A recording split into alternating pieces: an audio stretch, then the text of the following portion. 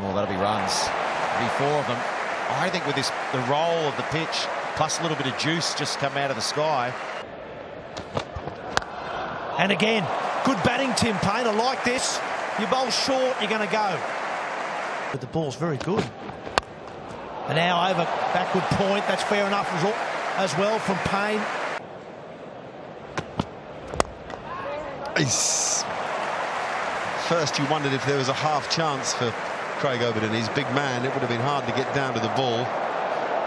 Now the umpire will wave his arm to signal the boundary. Well, that's worth a shout as well, but the height may be an issue. I would say here there'll be another review. Let's rock and roll that. And can we confirm no bet with uh, RTS? Yeah. Impact is in line and it's missing, Chris. I'll tell you when you're on screen. On screen now.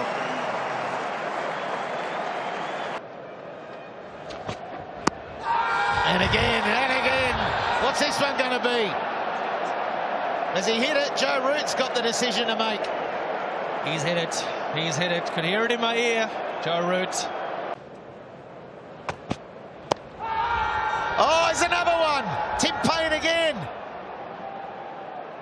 Moeen Ali to wicketkeeper Tim Paine wide and up and over. He gets some timing on that. It was sliced a touch, but overpitched. I'll be very, very happy with this Australia, even if they batted first. And an excellent shot from Tim Paine. That could be an upper decker. Oh, you're beauty. It's a biggie.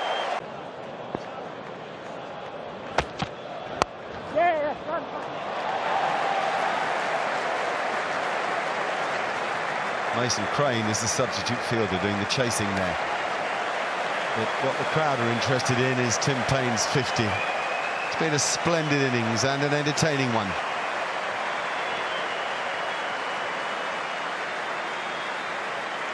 There'll be uh, a bit of Tim music. Not bold there, it isn't. It's going to be a bit of boundary music.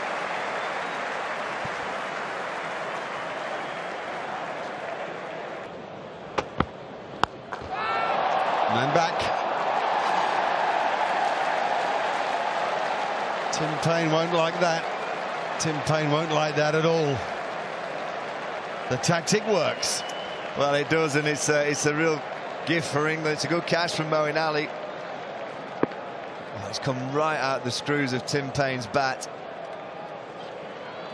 Perfect field settings. Well, look at to Craig Overton. He's made something happen again. So Joe Root's thinking has combined with Overton's effort. Tim Paine's innings is over. England have something to smile about. Six for two, nine four.